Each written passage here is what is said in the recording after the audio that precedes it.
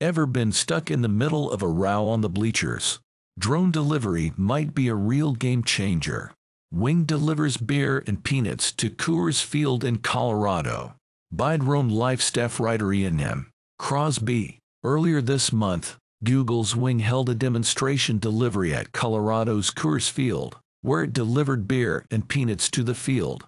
Though not held on a game day, over 1,000 people were present in the stands to celebrate the kickoff party for AUVSI's annual Autonomous Systems Conference. Coors Field was selected for the demonstration due to its challenging environment. Located in Denver, Colorado, one of the country's fastest growing cities, the stadium is filled with obstacles for delivery such as stadium seating and jumbotrons. At 5,200 feet, Coors Field sits a mile high in North America's second tallest city.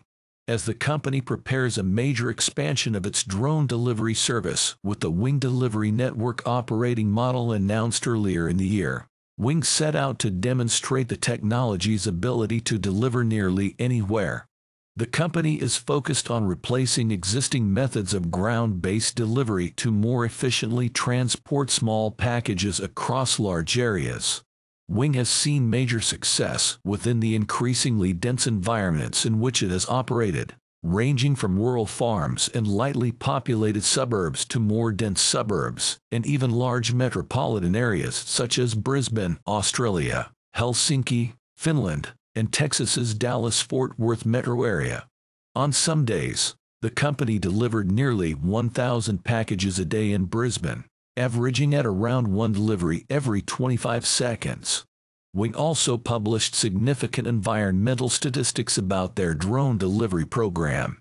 Wing's delivery drones are about 10x as efficient as some of the most efficient electric vehicles on the road today, and more than 50x more efficient than an average gasoline-powered vehicle. Our drones are so efficient that when a customer orders a box of pasta from Wing, they typically use more energy boiling the water than we use delivering the package several miles to their home.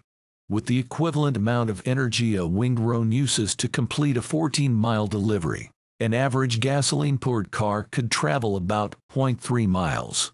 Some of the leading electric vehicles could travel 1.25 miles.